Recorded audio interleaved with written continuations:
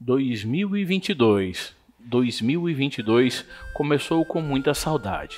Batoré, Elza Soares, François Furton, Ludmilla Ferber e entre várias personalidades anônimos que vão deixar muita saudade.